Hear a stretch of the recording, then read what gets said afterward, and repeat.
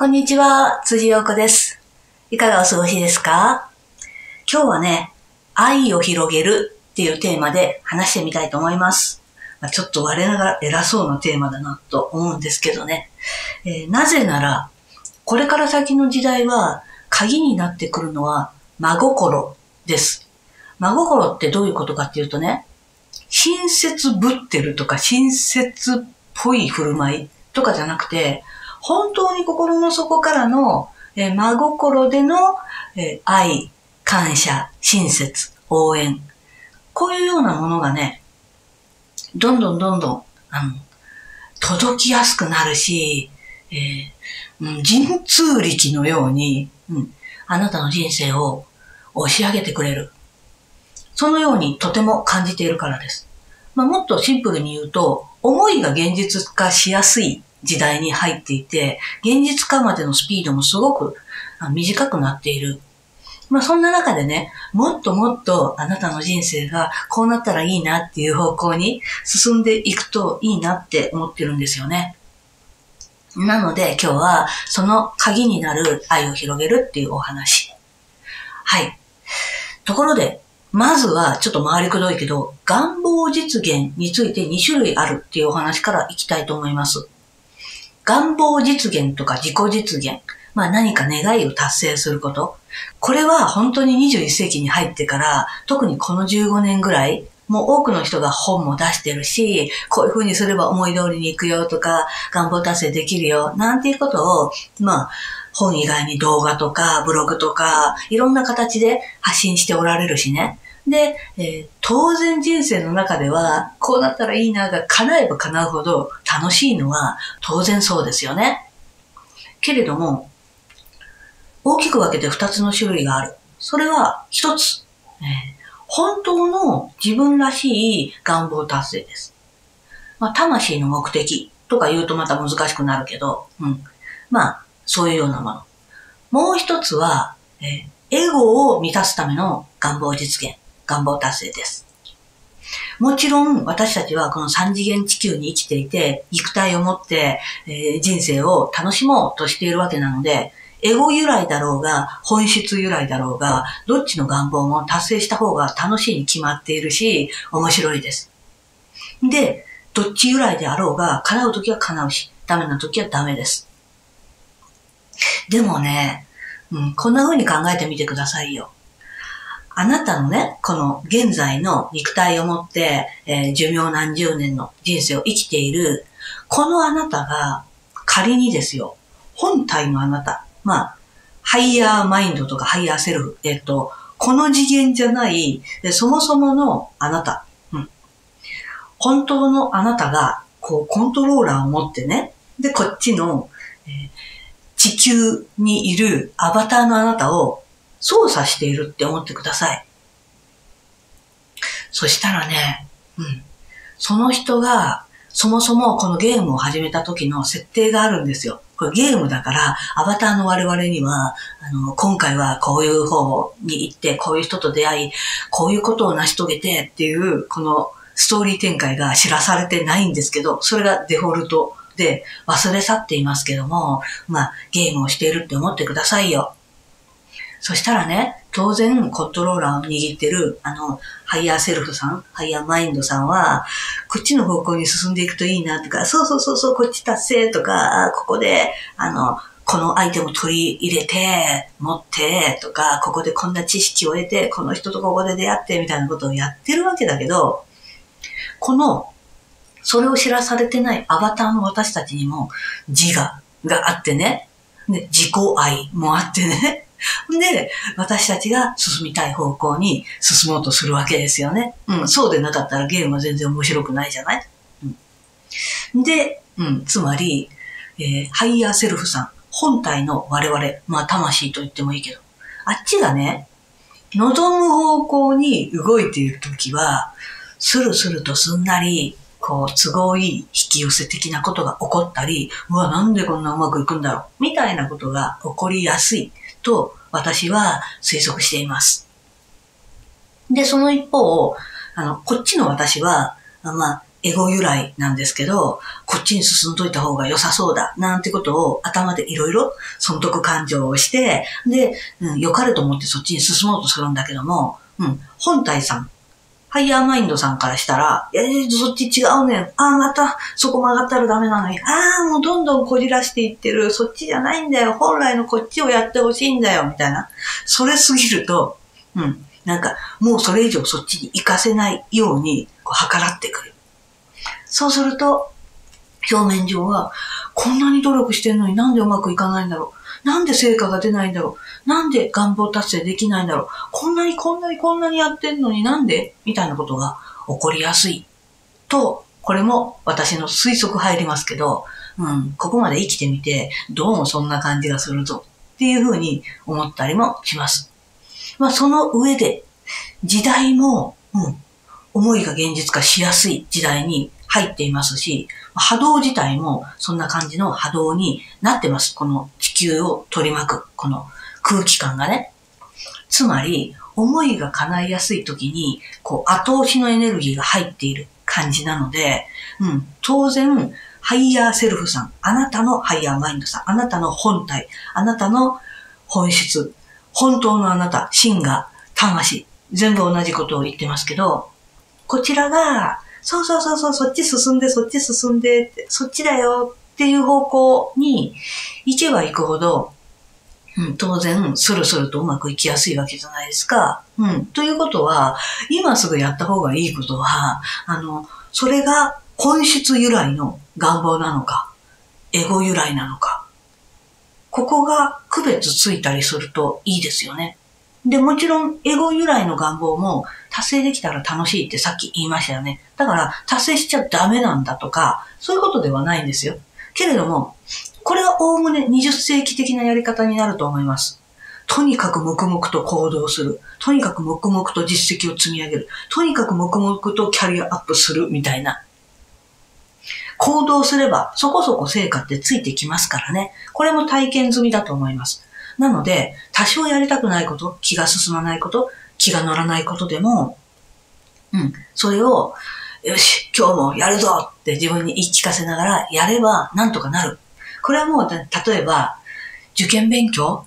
うん、行きたい大学があって、思い描いてる未来があって、そのために勉強するぞって思った人もいるかもしれないけど、親に言われるし、しょうがないから受験勉強したっていう人もいるじゃない？だけど、いやいやでも一生懸命勉強して、受験合格した人もいるはずなんですよ。うん、こういう人は、あの、いやいやだろうが、気が乗らなかろうが、行動すれば成果が出るっていうことも体験済みですよね。けれども、この努力根性忍耐っていう、えー、エネルギーの時代は終わったので、今は本当にね、直感的に軽やかに進む時代なんですよね。この鍵となってくるのがお待たせしました。回り道して喋っちゃったけど、うん。愛の拡大。これをやると私は一番何かとスムーズっていうふうに今、確信を持っています。なので今日はそんなお話。それからね、愛を広げるとか、自分を愛するとか、もういろんな表現で私も今までも動画撮ってるけど、ピンと来てない人も多いと思うんです。なので今日は今日でえちょっと今までは言ってこなかったような表現で愛を広げるとは、そして自分を愛するってどういうことなんだろう。エゴの自分の方で自分を愛するを頑張っても案外うまくいかなかったりもするんですよね。なので、その辺をちょっとできるだけ中学生ぐらいの人でも伝わるように話してみたいなって思います。じゃあまずね、愛についてです。愛っていうのはそもそも持ってない人なんていません。うん。けれども、愛にあんまり気づけていない人や、愛のない家庭環境とか職場環境にいる人なんかは、愛に触れる機会が少ないし、これが愛だよって教えてくれるような親御さんだった人もいれば、そうじゃなかった人もいると思います。これはね、親御さんだけに限らずです。学校の先生に教えてもらったよとか、あの、他の近所の大人やおじいちゃんおばあちゃんに教わったよとか、こういう人もいると思うんですが、そういう機会に恵まれなかった人は、なかなか愛っていうものが捉えどころがなく分かりづらいです。けれども、うん、愛とは、うん、全然体験したことない人もいないはずなんですよ。それはね、テレビドラマや映画の中の世界であってもです。あ、多分これだなっていうような。これは、うん、何らかの形で知ったり見たり聞いたりしたことは間違いなくあるでしょう。そしてね、今から私が言う愛は恋愛の愛ではないです。恋愛っていうのは大きい愛の中の一部の形なので、あの、恋愛を想像しながら聞かないでください。あの、人類愛とか、親子愛とか、えー、お花が好き、鉄道が好き、アニメが好きっていうのも愛じゃないですか。うん。もっと広い範囲の愛の話です。これをね、広げる。広げるには、まず自分自身に愛があるんだ。うん。ピンと来なくてもいいんで、はいはいはいはい。辻さんの今回の話は愛がある設定なんだね、ぐらいでいいです。うん。ピンと来ない人もそんな感じで聞いてください。ピンと来てる人はもう再確認になるし、あるいはね、あなた自身はもうね、そこをね、クリアしてて問題ない人かもしれません。うん、クリアして問題がないっていうのは自分の人生に納得感があるってことですね。ありのまま自分らしく生きられている。自然体で生きられている。そして日々の人生を楽しめている。これは別に立派なことをするとかしないとか、仕事についてるついてないとか全然関係ないです。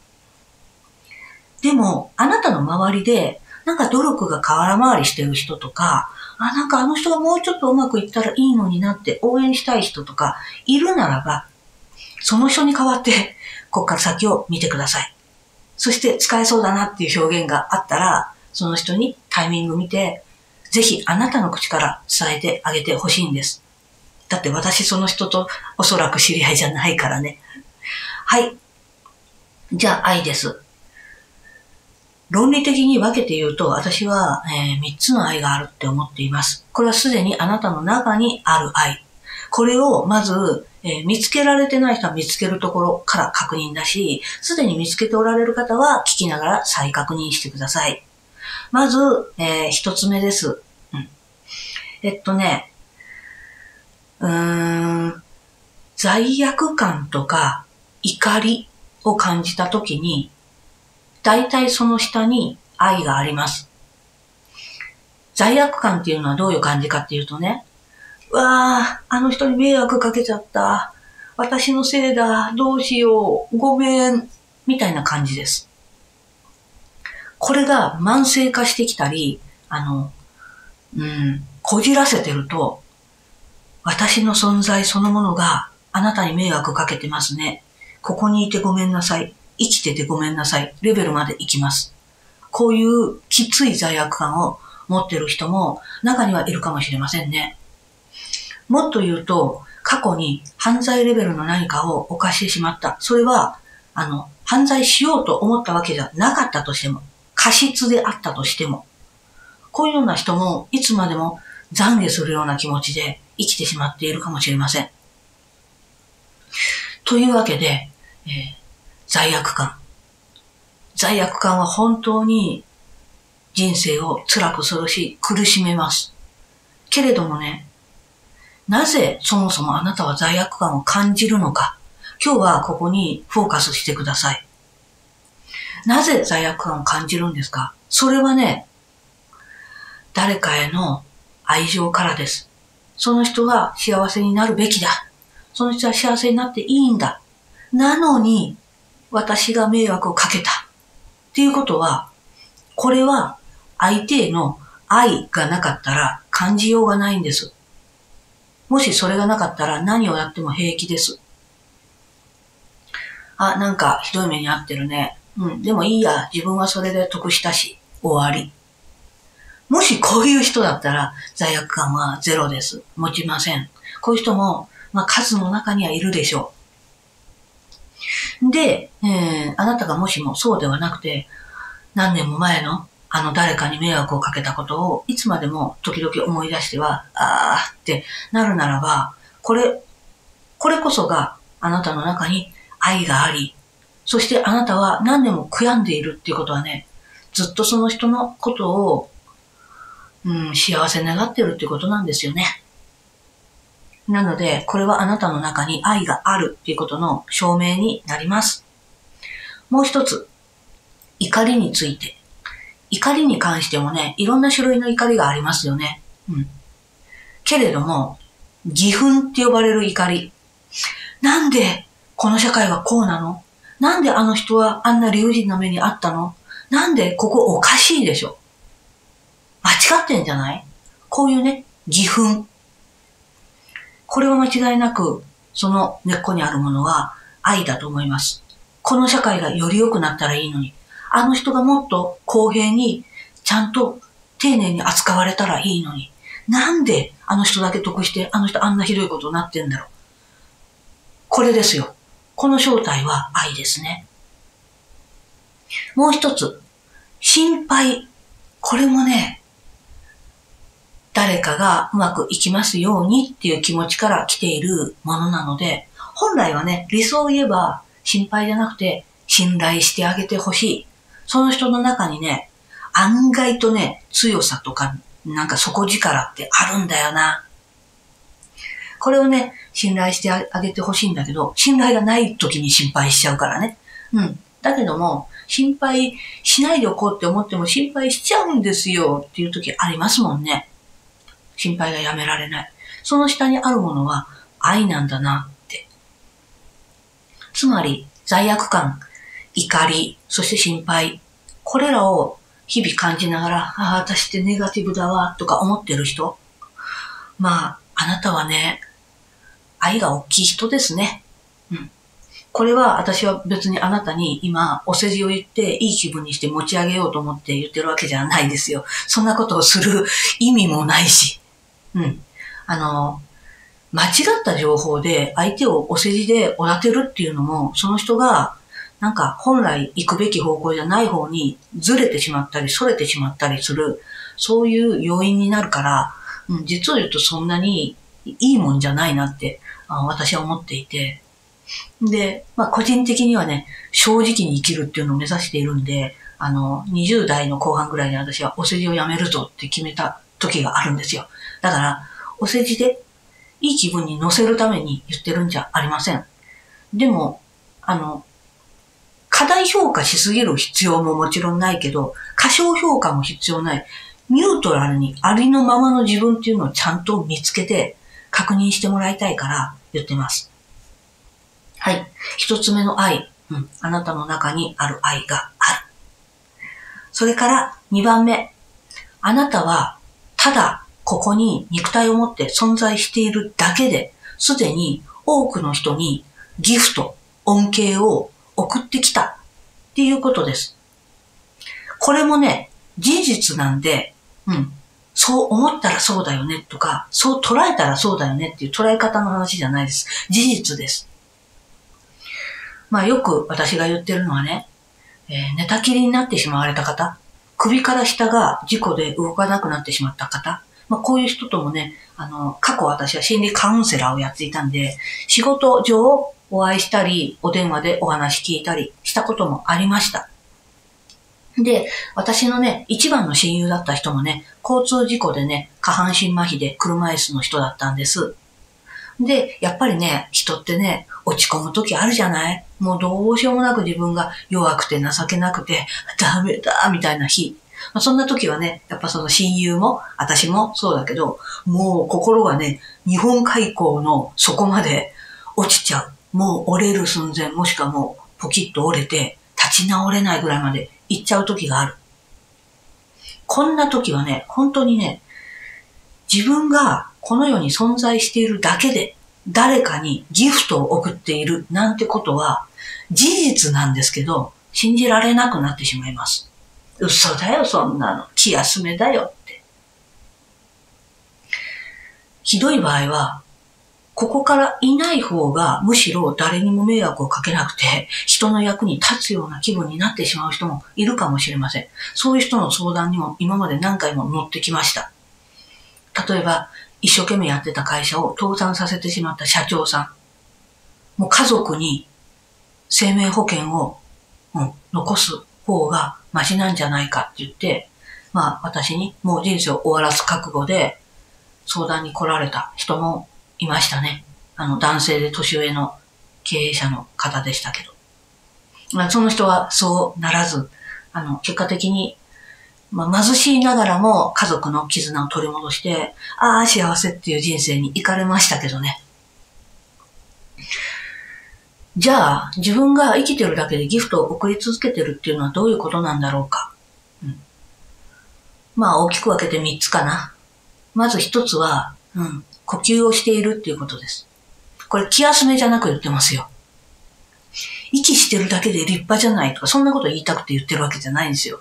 あの、立派でも何でもないと思います。そこは私は立派とは思いません。だって生きてるイコール息をしている、呼吸しているってことだから、やってない人なんかいないもんね。けれども、私たちが酸素を取り入れ、二酸化炭素を吐き出すことで、少なくともあなたと距離的に近い位置にいる植物はあなたの恩恵を受けています。そして日中あなたの吐き出した酸素を取り込み、そして葉っぱや花を大きくして、そして夜中酸素を吐き出してくれてるんだよね。だから朝起きると、なんか朝の空気ってすがすがしい。うん。ね。植物と会話できませんけど、会話できるとしたらお互いにありがとう。お互い様とおかげさまで一緒に共存共栄できてるねっていう感じですね。そしてもちろん、その植物が育つおかげで恩恵を受けてますよね。そう、あの野菜や果物。それから、それはね、人によって食べられずに、実が土に落ちて、うん、腐っていっちゃった。うん、そういう野菜や果物もあるけれども、でもそれでも全然いいんですよ。だって考えてみてください。それがまた土壌を豊かにしていくんだよね。肥えた土地にしていく。ウイルスや菌、バクテリアの栄養分になっていって、彼らがうわーいって喜んでね、そして成分解って言って、この地球の環境を整えるようなこと、うん。地球環境、汚染を整えるようなことを、菌、バクテリアがやってくれてますよね。もうちょっと、昔々の理科、科学で学んだことなので忘れちゃった人もいるかもしれないけど、そう、動物、植物、菌、バクテリア、この三つ、微生物ね。この三つが、綺麗に、この環境を循環させているんですよね。うん。大きく分けてこの3つの生物がね。うん。なので、その循環の中で私たちは動物としてやるべき使命を果たしている。だから、生きて存在しているだけで、他の生きている、一緒に生きているこの地球の仲間、仲間を助けているんですよ。ギフトを送り続けています。それからね、2番目のギフトは、排泄物ですよ。これもです。菌バクテリアにとってはとても大事で。まあ、腸内細菌とかもね、一緒に生きてるけど。うん。そう。それからね、もう一つはね、現代社会ではお金。あなたがどこかで必要なものを買い、買い物をした。このことによって、どこかの誰かが生活助かったってなってるわけです。で、それはね、あなたがレジカウンターで払った、その目の前の人だけじゃないですよね。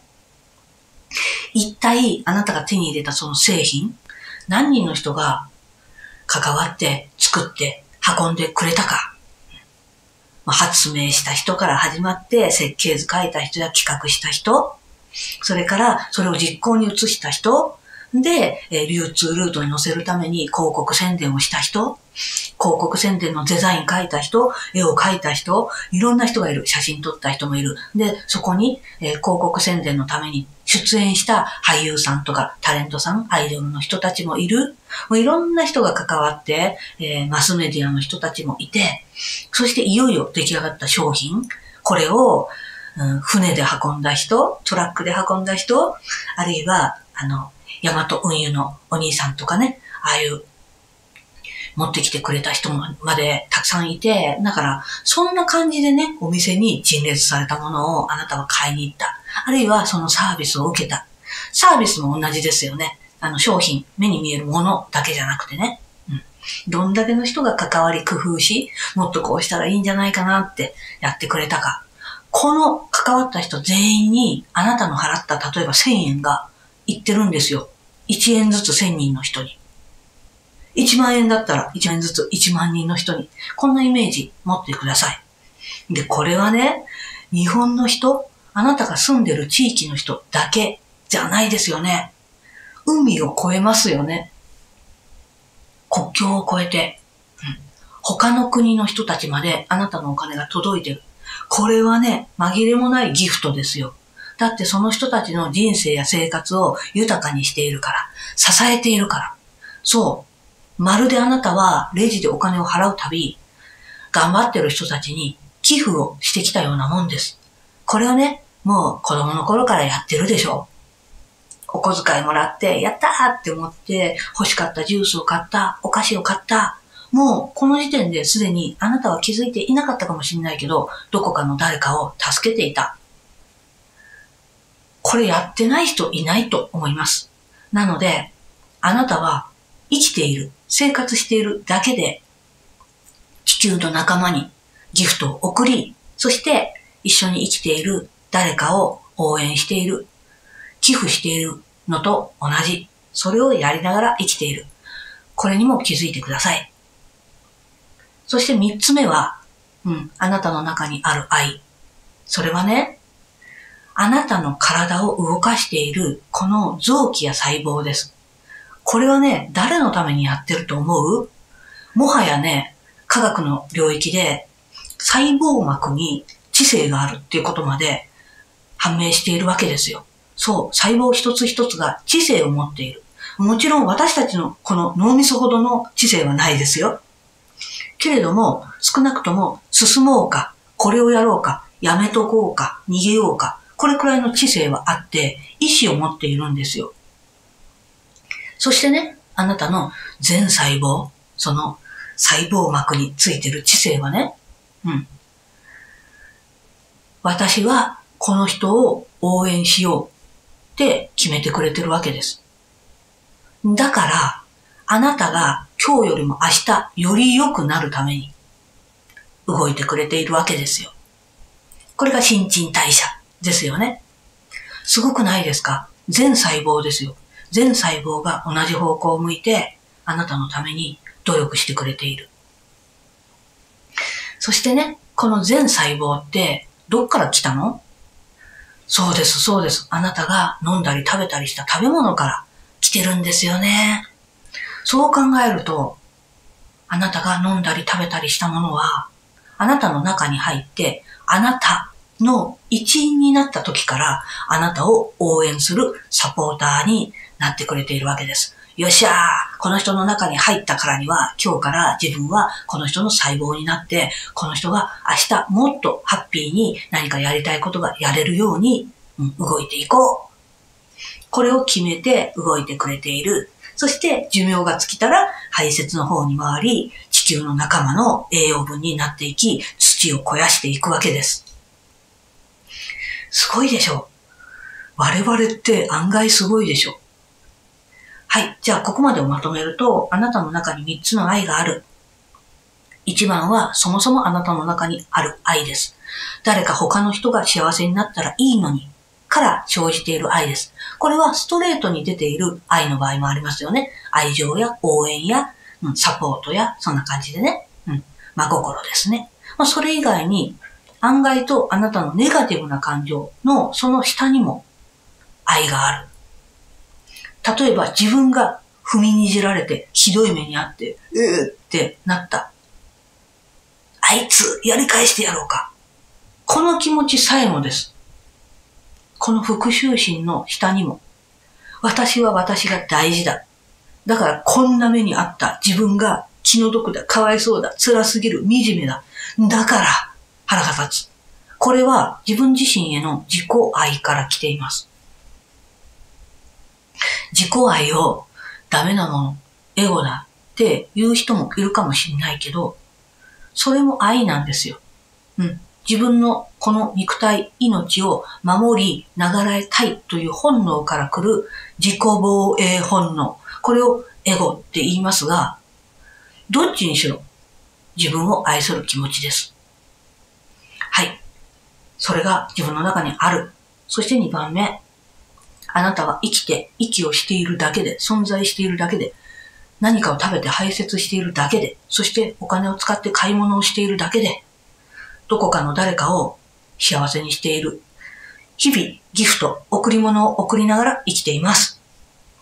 三つ目、あなたの飲んだり食べたりしたものは、体の中に入り、あなたになった瞬間からあなたの応援団です。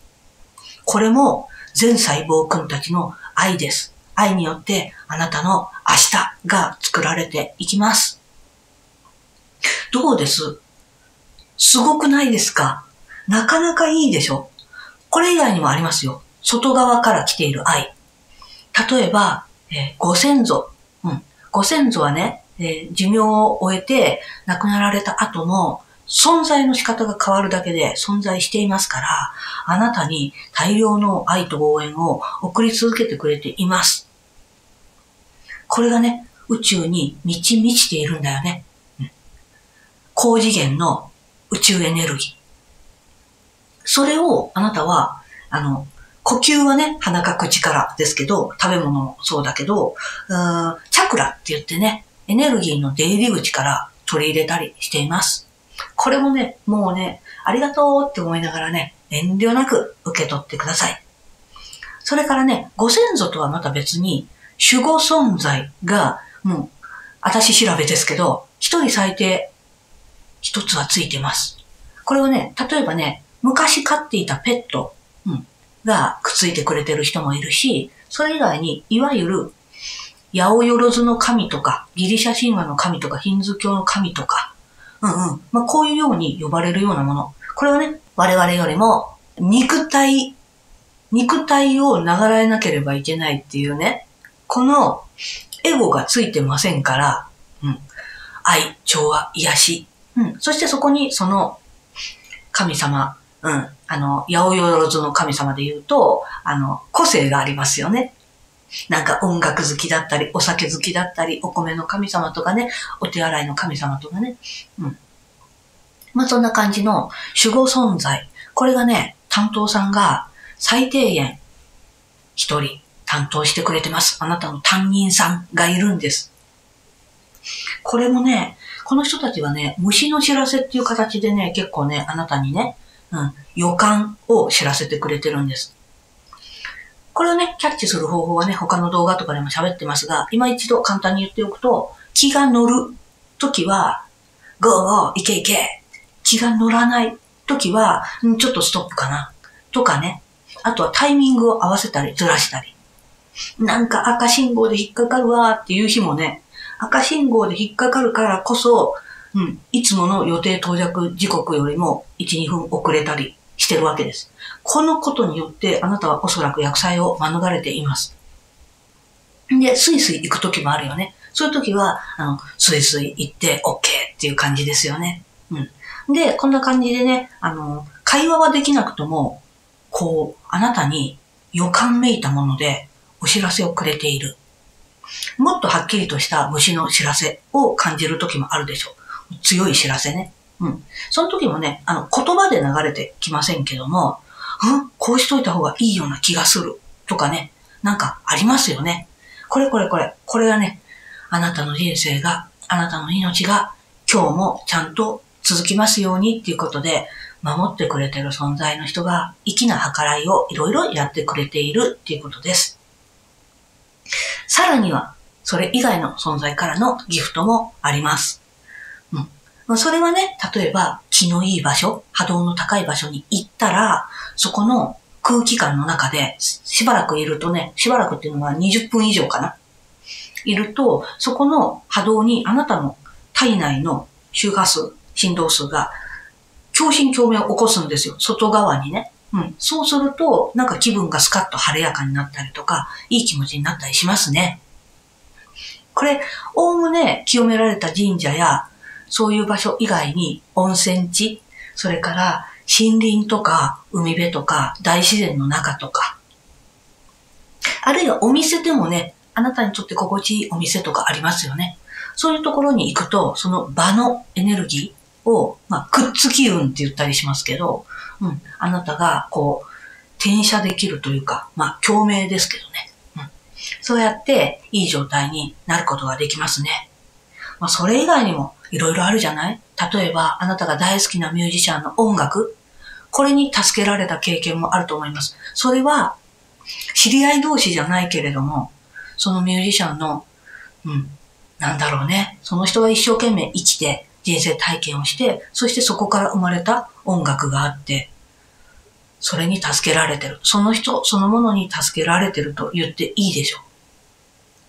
あとは、過去を生きた人の知恵。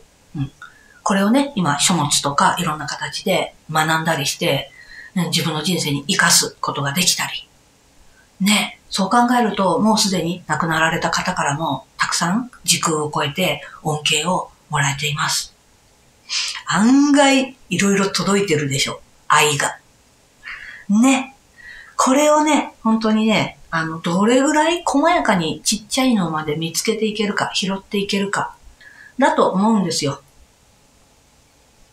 でね、やっぱね、人生がしんどい人、今試練の中にいたり、辛かったり、体に痛みがあったりとか、そういう人はね、なかなかね、今日のような内容を、うん、聞いてもね、今辛いから、なんか、綺麗事みたいに聞こえちゃうんだよね。これも昔の私調べです。昔の私はそうでした。もうこういう話聞くのが大嫌いだったし、耳を塞ぎたかったし、愛って何なの？愛っていう言葉、嫌いですぐらいのね、ま、うちの教会の師範さんでも昔そう言って言った人がいたんだけどね。いや、もうその人も今すごいいい人生になっているし、いや、昔そんなの言ってましたねなんて言って笑い話になってますけど、まあ、その気持ちもわかる。なんかね、他の人にだけ届いてて、自分にだけ愛や恩恵が届いてない感じがしてしまうし、息してるだけで素晴らしいんだよ、なんていう、こんな言葉がね、もうね、綺麗ごとに聞こえるんだよね。なんなの？みたいな。もう私も本当にそうでした。で、もう、ぶっちゃけそういうことをね、言う人を見ながら私は、ああ、この人は苦労のくの字もしたことないんだろうな、みたいなね。いい人生を生きてきたのね、楽しいことばっかり、みたいなね。こういうひねくれモード。これにもなってましたね。うん。もういっぺん私と同じ人生を生きてみなよ。それからもう一回その同じことを言ってみなよ。言えるわけないでしょ、ぐらいのね、なんか心の中で何かを挑んでた。うん。この気持ちもわかるんだよな。わかるけど、じゃあ、あの、今現在しんどいでしょ？そして、素敵だな、感謝だなって思えることがないでしょ？ない中で、じゃあ、いいこと起こらないのに、感謝のしようもないし、愛を感じることもできないのに、どうやって人生を変えていきます？これはもうね、ある時、この辛い状況なんだけど、自分が自分で自分のために、えいって勇気出すしかないんだよな。で、勇気出して何をやっていくのか。それはね、もう残念ながら、うん、自分を大切にし、周りを大切にするっていうことをやっていくしかないんだよな。行動を変えていくしか。これは本当に過酷だなって思います。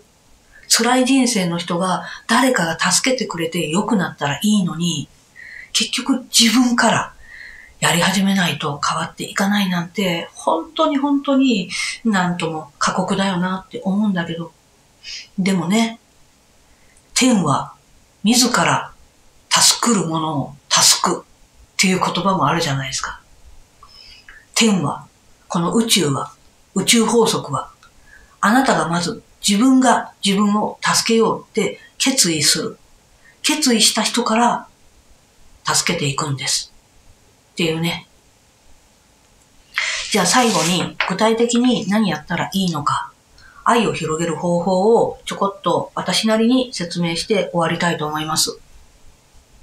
ちょっと耳の痛い話になりますけど、これは昔の私の話でもあるんで、まあ、過去の自分のことを顧みて反省しつつ話してみたいと思います。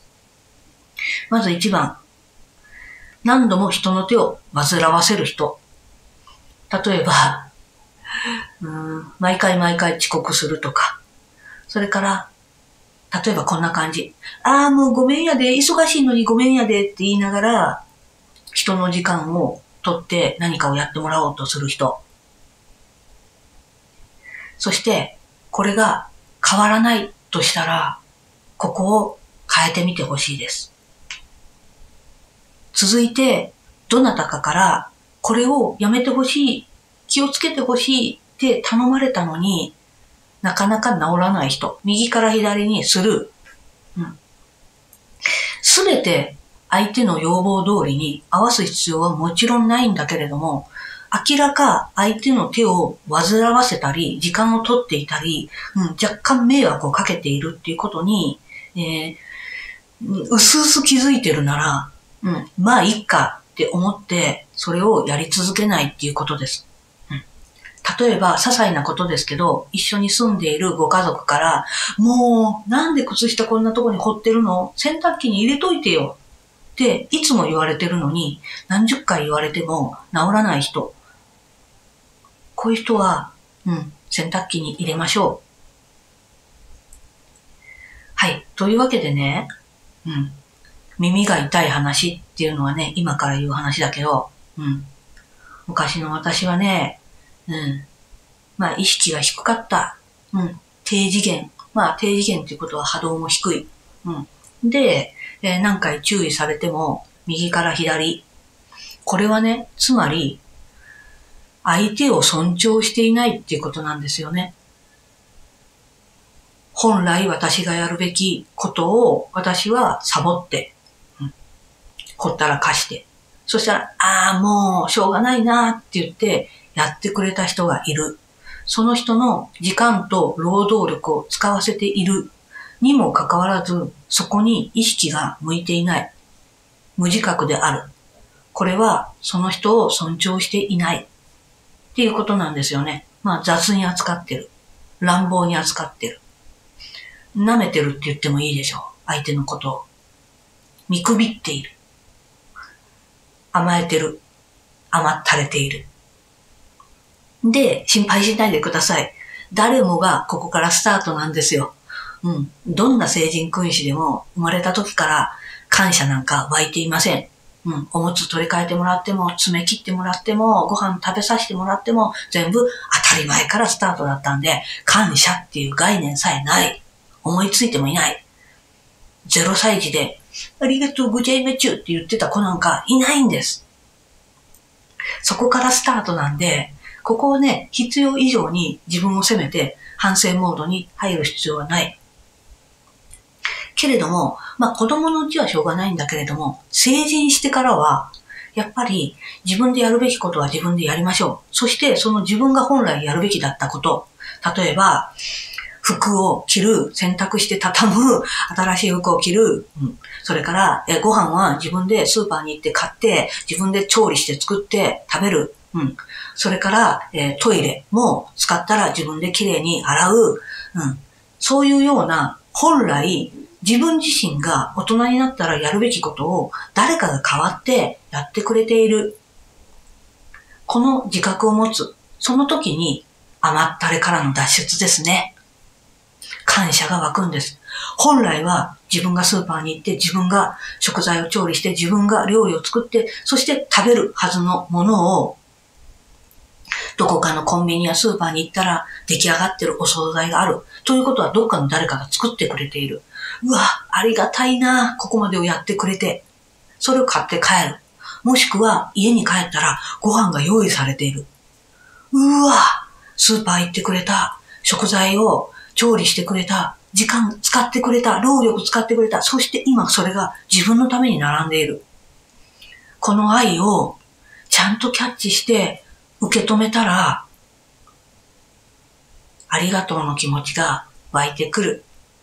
うわぁ、ありがとう。本来だったら、大人になった自分はそれを自分のために自分でやるべき。なのに、変わってやってくれてる。ありがとう。だからおかげでちっちゃい子みたいに席について食べることができる。ありがとう。これです。これが意識の次元上昇。目の前に食べ物があります。この目の前しか見えていない人。これを、あの、三次元意識ってね、スピリチュアル用語で言ったりします。便宜上言ってるだけですけど。けれども、うん。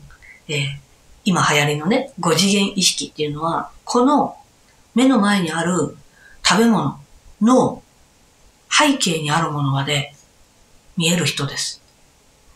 作ってくれた人の気持ちや思いや時間、労働力、ここまで込み込みでその目の前のものを見れる人です。その現象を。これ5次元意識。まあ、波動高い状態ですよね。うん、このようにして見ていく。これがね、本当に昔の私はね、まあできてなかったね。偉そうだったわ。もうコンビニが24時間空いてるのはなぜかなんて考えもしなかった。どっかの誰かがちゃんと来て勤務してくれてるんですよ。だから空いてるのに、空いてるの当たり前だった。そして、おにぎりを手に取ってレジまで持って行って、で、お金払えばいいんでしょ？みたいなつもりで買ってた。だけどさ、そのおにぎりって裏を見たらさ、午前5時調理とか書いてあるわけですよ。ということは午前5時におにぎり工場で働いていた人がいる。そしてそれをトラックでコンビニまで運んだ人もいる。午前6時、7時。ねそういうこと全然見えてなかった。まあ、低い意識、低い波動。だから感謝もない。お金払えばいいんでしょ。もうなんて偉そうか。お金払って、でも、お店が開いてなくて商品並んでなかったら買えないのにね。こういうのを、本当にね、震災とか災害を経験した人は、うん、覚えておられると思うんです。コンビニのものが空になって、いくらお金があっても買えない。手に入らない。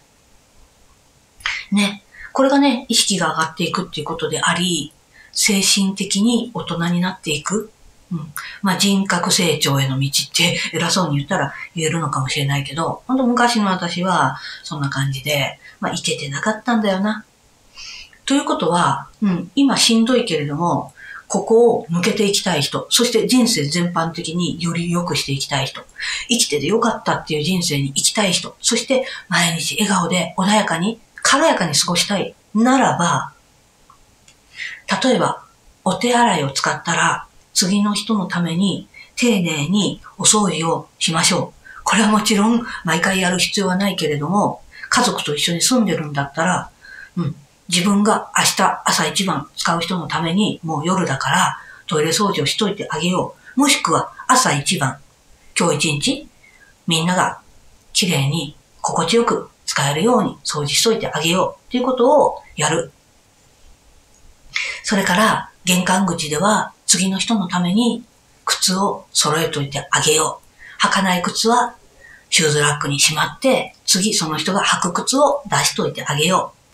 ね、自分が出かけようっていう時に自分の履く靴が綺麗に揃えて置かれてたら、なんか感激しません、うん、これを次の人のためにやる。それから次の人のためにゴミは路上にポイ捨てはもちろんしない。そして家の中でもちゃんと分別してゴミを処分し、そして、えー、ゴミの日にはゴミを捨てに行きましょう。くれぐれも、ポイ捨てはルール違反だからポイ捨てしない。これじゃないんですよ。私が今日言いたいのは。意識の次元上昇のために、次の時代にあなたがもっと、うん、思いを現実化してもらいたいために話してるんで、ポイ捨てはルール違反ですよ、マナー違反ですよ、そんな話じゃないんです。そんな三次元の、うん、ルールの話をしてません。次の人のためにです。次の人のために綺麗にするんです。次の人のために次の人の手を煩わせないんです。この地球を使わせていただいている、お借りしている一員だから。だから、みんなで綺麗にしていこうよ。っていうことです。そして、あなたが寝てる間に早朝からゴミ拾いしてくれてる人もきっといます、あなたの町内に。あなたの普段通ってる道の街路樹を、こう枝を切ってね、整えてくれた人も、大体こういう作業も夜中やってんのよ。あとは信号機が、あ、電気消えてるって案外ないじゃない？あれもね、いつやってる？夜中やってるんですよ。なんか小人さんの作業みたいに。我々の大半が寝てる時間帯に起きて勤務して作業してくれてる人がいる。いつどこの信号機が故障したかわかるようにずっと見守ってくれてる、そういう業務の人もいるんですよね。あなたのお家の電気が止まらないように、あなたの水道の蛇口がひねったらいつも出るように、お湯も出そうと思ったら出るように、こんな風にしてやってくれてる人がいる。ここをね、思い測れるか。これが意識の次元上昇。愛を広げる。っていうことです。なので、あなたの中にすでにある愛、この愛を使って、あなたの人生、明日、明後日、さらに先の未来、これがもっともっと軽やかで笑顔に満ちたものになりますように、そのためにあなたの意識を上げてください。あなたの愛を持ってるものを波紋広げてください。これがね、これからの生き方ですね。そしてこれからの生き方にすでに言っておられる方がきっとたくさんおられてね。で、こう、動画見てくださってる方もおそらくね、60%以上の方はもうすでに、辻さん、はいはい、そうですよね、その通りだと思います。うん、みたいな感じで見てくださってると思うので、私は他の、まだ努力根性忍耐で20世紀的やり方で、でも頑張っておられる。そういう方も軽やかになったらいいなって思ってる。だってそういう方も含め、みんながこのいい感じの社会をキープしていこうよって頑張ってるわけですから。だから、みんなが軽やかに作業をできるようになったらいいなって思ってる。そのために、あなたの周りで、いい人で努力、根性、忍耐、そして我慢ですね。うん。ここでね、まだ一生懸命やっておられる方に、もう時代が変わったよっていうことを傷つけない形であなたなりの表現でぜひお伝えください。それは、あ、ちょっと疲れてるんじゃない？ここ座りなよ。ちょっと揉んであげようか？とかね。まあ、うちは霊気協会なんで。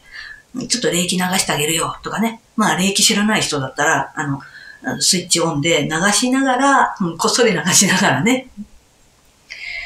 揉んであげてもいいですよね。そして、うん。いつも本当頑張ってるよね。うん。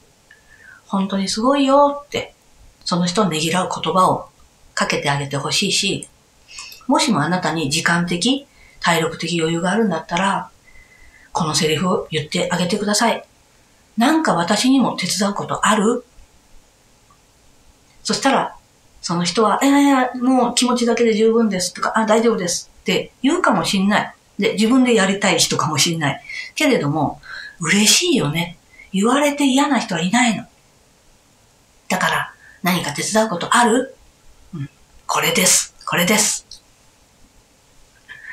こんな世の中がね、私は案外、スルッと簡単に実現するんじゃないかって、実は思っているんですよ。そしてそんな世の中が見たいんです。あなたが道を歩いてるだけで、いろんな人がさりげなく親切にしてくれるような、そんな世の中が、そんな世界が。